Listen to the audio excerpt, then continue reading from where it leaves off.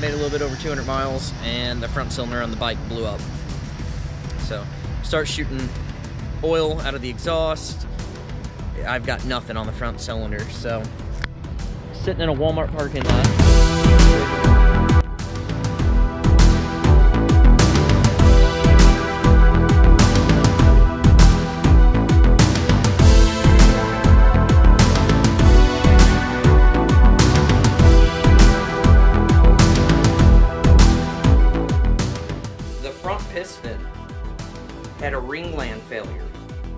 And I'll show you on the rear piston why I say that is. So the upper ringland is gone. Uh, a good piece of the uh, ring is gone and lots of damage to the top of that piston. So I'm going to say that was improperly gapped rings. The reason I say we had a uh, ring failure, besides the obvious broken ring and broken piece of piston, look at that ring gap right there. That is nowhere near sufficient. This is all piston material. That there.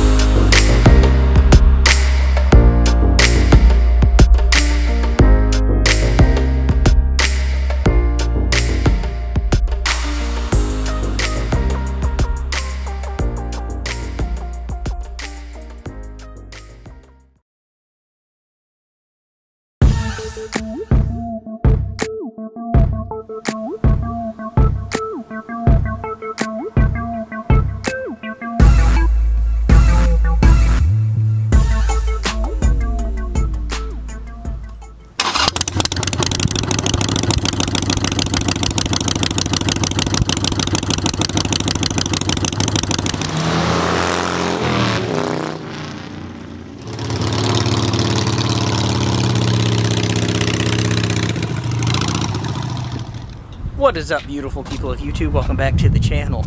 So today is the reveal of the chopper, the finished project. As you saw at the beginning of this video, 11 months ago, this bike blew up. Pretty much the only thing that was salvageable was the crankshaft and the two cases. Other than that, everything was destroyed. So, I've rebuilt this entire bike. It's taken three months. My wife, she pushed me to do this.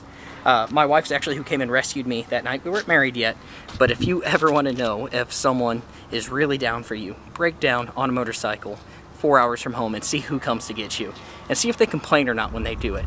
I'll tell you this much, she came to get me.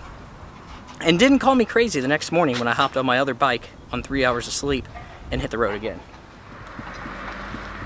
So this bike, it's been built, a lot of these parts, most of these parts came from TC Bros. Starting at the front, we have the TC Bros Moto Iron Springer. Got some TC Bro handlebars. And as we move back, the tank came from Lowbrow. Seat came from TC Bros. The rear fender came from Dennis Kirk. And other odds and ends came from other people. And I've put a lot of time into this bike, a lot of time. This paint job, this is probably one of the best paint jobs I've ever done in my life. I don't know how good it comes through on camera, but a lot of work in this. Gotta watch. People keep stopping and just, I have this bike sitting out here and people keep stopping and want to talk to me about this bike. I've been trying to shoot this video for like the last hour and a half. So, the exhaust, these were some pipes, some drag pipes that I got on Dennis Kirk. I cut these to size. This entire bike, there's been a lot of custom stuff to it. Uh, so this wasn't a bolt together project. The hardtail frame came from TC Bros. My cousin came out, helped. He's a professional welder. I am a amateur welder, but I can do okay.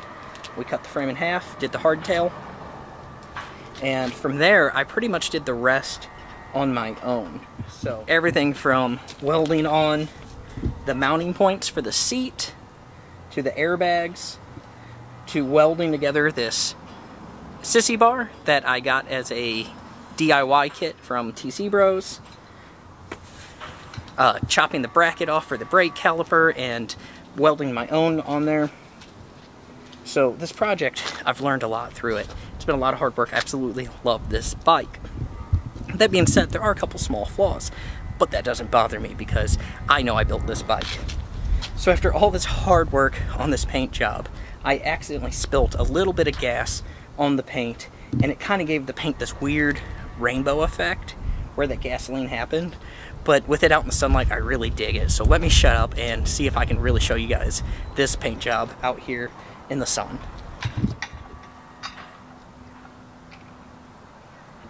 Guys there's gonna be a lot of content coming with this bike. Uh, as many of you know, have been around for a while, the bike that this originally was, I set out to ride cross country on. So I think I'm going to do some road trips on this hardtail chopper. And I still have another Sportster inside that I've redone, and I plan to ride a Sportster cross country. But I guess that's going to effectively wrap this video up. I appreciate each and every one of you for watching. I love you all. Please give this video a big thumbs up, comment below, like the channel, subscribe if you're not already subscribed. Head on down to the description box. All of the links to our social media as well as our company website, hotheadstalls.com where we have everything for horses and we sell dog leashes and dog collars. We also have apparel. So I will see you guys in the next one and I'm out of here.